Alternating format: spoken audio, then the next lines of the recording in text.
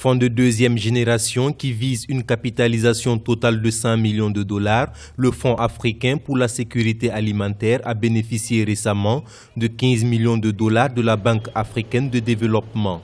Cet investissement s'inscrit dans l'optique de soutenir les actions des petites et moyennes entreprises agro-industrielles en Afrique subsaharienne et d'améliorer la sécurité alimentaire sur l'ensemble du continent. Considérant les besoins largement sous-financés du financement agricole en Afrique, la politique d'investissement du fonds implique le déploiement d'instruments de capitaux propres ou de quasi-capitaux pour fournir des capitaux d'expansion dans la majorité des cas avec un ticket moyen de 6 millions de dollars.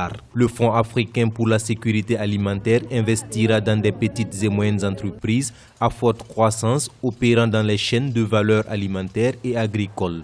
En se concentrant davantage sur l'Afrique subsaharienne et en s'appuyant sur sa présence en Afrique du Sud, au Ghana et à l'île Maurice, le fonds investira dans des pays mal desservis tels que le Sénégal, le Mali et le Rwanda. Aujourd'hui, la priorité, c'est plutôt aller vers euh, une agriculture de marché, c'est-à-dire euh, permettre aux agriculteurs d'aller sur la chaîne de valeur. Il y a plusieurs années, on était sur l'agriculture de subsistance.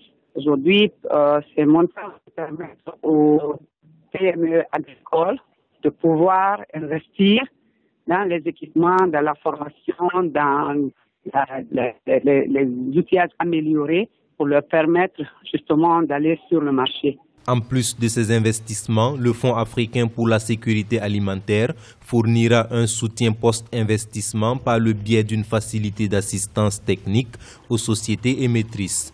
Il est par ailleurs prévu la création d'au moins 20 emplois directs pour 1 million de dollars investis au profit de plus de 14 000 petits exploitants. 40% de ces emplois seront occupés par des femmes.